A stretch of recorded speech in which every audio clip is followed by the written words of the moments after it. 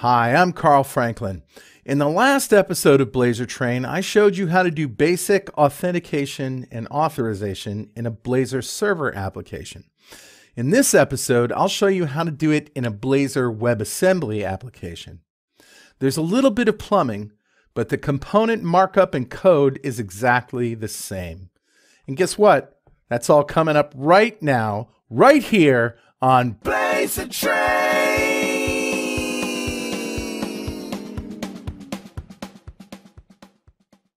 Okay, so I've created an application here in Visual Studio .NET 5 application called Basic Auth WASM. So just like last episode, uh, we're going to change the authentication to individual user accounts. I'm also going to make this an ASP.NET Core hosted application and uh, should be pretty obvious as to why. All right, so before we do anything else, I'm going to go into app settings JSON. And just like we did before, we're going to change this database name just to basic auth WASM. All right, now just as we did before, we're going to create that auth database. And I'm going to be in uh, the, the default project. It's going to be basic auth WASM server. This is the package manager console. And we're going to simply type update dash database. Now, if we expand in the SQL Server Object Explorer, our databases, you can see we've now got another database here called Basic AuthWASM. So this is the one we're going to use. Now, right out of the box, I get authentication, but I don't get authorization. Well, I don't get role-based authorization. I get authorization as to whether I'm logged in or not, but not role-based. And that's what we really want here. So let's run this and see what happens. Now here's a caveat. If you do not update the database first with a basic migration and you just run it and you go register, you're going to get a message that says you need to apply these migrations and you can just click that and refresh and the database will be created for you. But I want to be explicit in terms of showing you how to uh, apply that migration and update a database. All right, so let's register. Just like before, carl at franklins.net. My password is P, capital P, at SSWORD1. Don't do this at home. Now you got to click to confirm your account. Uh, if there was another step like two-factor authentication or confirm by email, this is where that would happen. But we don't have that, so we're just going to log in. Now, the only thing that you see here, there's everything is the same. We haven't limited what we can do uh, with authorization, but we do have this identity here. Hello, carlfranklins.net. So I have been authenticated, and authentication means who are you? Prove it. Now that I've proved who I am, let's talk about authorization. What are you able to do? All right, so in episode 26, I showed you how to do basic auth in a Blazor server application, and that was relatively easy. This is a little bit tricky because we have a client that needs to know what it can do, and then we have the server, which is actually handling all the permissions and things. And so now we have API access between those two things. Also, the server project in a WASM uh, application is using Identity Server, which is sort of hidden away from you. So there's just a few things that we need to do differently. That's what I'm getting at.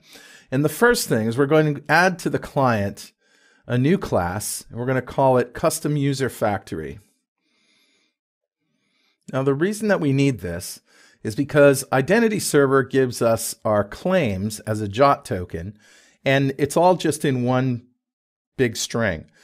So what this does is it returns uh, a claim principal from that that has in it all the claims sort of broken out into uh, the roles element. All right. So suffice it to say, we need this little bit of plumbing in order to do role-based authorization in a Blazor WebAssembly application. So this is our custom user factory. We're going to add that now to program as a service. replacing the add API authorization line with add account claims principal factory, and that's our custom user factory. Now, in the startup for server, we have to do what we did before, which is add identity here, but also this identity server has to be configured for roles. So I'm just going to delete this whole thing here and replace it. And I'll show you what's different. First of all, add default identity. We added this add roles just like we did in episode 26. But now add identity server says that we're going to use these claims, name and role. Name is the email address. Role is a role that we're going to define in the uh, as an identity role.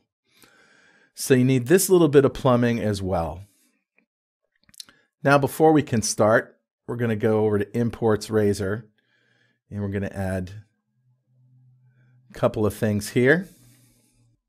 And other than that, everything is exactly the same in the component model as it was in episode 26. So let's look and see what we can do now. Um, just like before, I'm going to add a notes file here. Okay, so in this readme.txt in my application, I link to the documentation on ASP.NET Core Blazor authentication and authorization. Very good. And I'm also going to link to this Identity Manager GitHub repo. And this is, as I said in the in episode 26, uh, it's uh, a, an open source manager for managing users and roles. And it has been deprecated and there's new stuff, but it still works with uh, ASP.NET Core Identity. And uh, that's what I'm using. So I've got my identity manager project right here. Uh, I'm going to change the database to basic auth WASM as I did before. And in the startup, I'm also going to change this from use SQLite to use SQL Server. Okay? So now I should be able to run this. And because we're hitting the same auth database, uh, as my application is, you'll see here's me, Carl at franklins.net. And we can also assign roles here. Now, there are no roles because we haven't added them yet. I just wanted to show you that Identity Manager has picked up that there is one user, Carl at franklins.net. So let's start with the nav menu, just like we did before. Now I've added this authorized view surrounding these two links. The one to the counter page requires can view counter page as a role. And in order to show the fetch data link, we need to be in the role can view weather data. Now, just by doing that, I should not see these two links whether I'm logged in or not. Okay, I'm not logged in. I don't see them. So the authorized view is doing what it should there. Now I'll log in and it's still doing its job. It's not showing them to me because I'm not in those roles. I don't, I don't have those roles assigned to me as a user.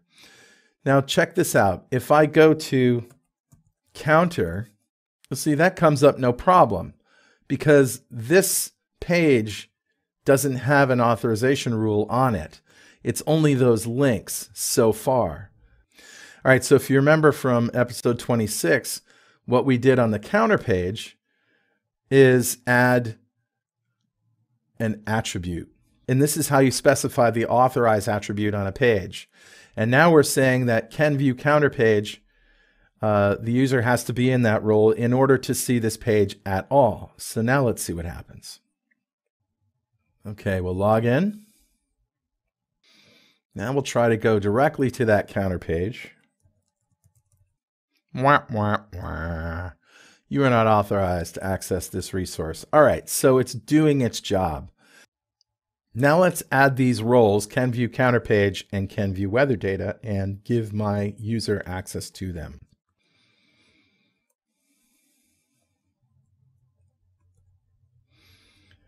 Can view counter page, can view weather data. I'll run my app again log in. And guess why this isn't working yet?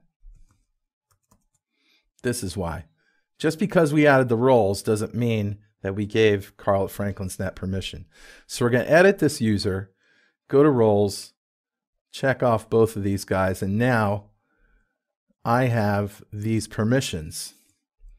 I will log out and log back in. Now we're cooking with gas. Now I can access the counter from here and from here, and all is happy. The next thing that we did was we showed how we can use the authorize view inside any page. So I'm going to replace this entire button in the counter page with this. So here we have an authorized view and where we've got the role can click counter button. And if we're authorized, we see the button. If we're not authorized, we do not have permission. This is a different role, can click counter button, than what we specified in the nav menu, which is can view counter page.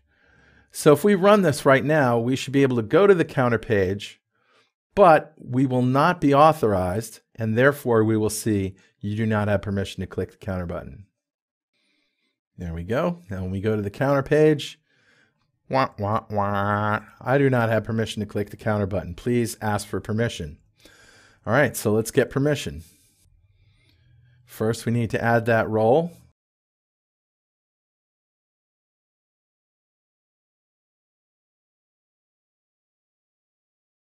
Then we need to authorize our user.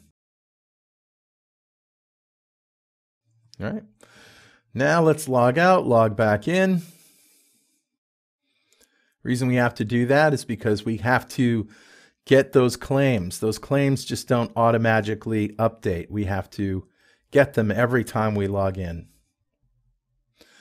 All right, now we can click the button. We can see the button, we can click the button. Now here's where we differ from last week's show, episode 26. I said that you couldn't actually do code based authentication with roles in a Blazor WebAssembly application. You actually can. It just requires that extra step that I showed you. So out of the box, you can't.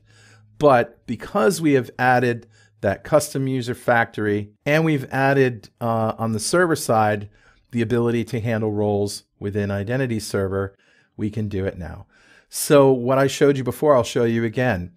What if we want to test whether the user has permission based on roles when we click? That's what we're going to do next. And here it is. So we still keep our attribute, authorized roles can view counter page, right? We have to have that role just to be able to see this page. And now we're injecting an authentication state provider into the page. We still have our authorized view, everything's good. And because we have this permission and we have this permission, we're going to get to this point. Now, when we increment count, we can check this claims principal user which we pull out on initialized uh, async from the auth state, the authentication state provider. And that, that's our claims principal user. And now we check to see if we're authenticated and we're in role can increment counter. And if we pass that test, now we can increment the count. Otherwise, we're setting a message to you do not have permission to increment the counter. Message we're showing right there. All right, so let's just run it. And to show that we are not in this role, can increment counter, it should fail when I go to click the counter button. All right, we got this far. Now watch this. Boom. Wah, wah, wah. You don't have permission to increment the counter. So we can use code to test the roles in a Blazor WebAssembly application if we do those two little bits of plumbing that I showed you in the beginning. Now, of course, we're going to add the role. Can increment counter. And we'll add my user to that role. Or add that role to my user. However way you slice it, it comes up peanuts. We'll log out, log back in. Now we're back in business. All right, so there you have it authentication and role-based authorization in Blazor WebAssembly. Now back to you in the studio, Carl.